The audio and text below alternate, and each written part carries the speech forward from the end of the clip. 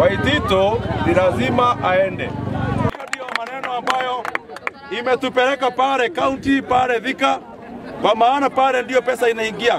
Pa, pesa ya taslimu.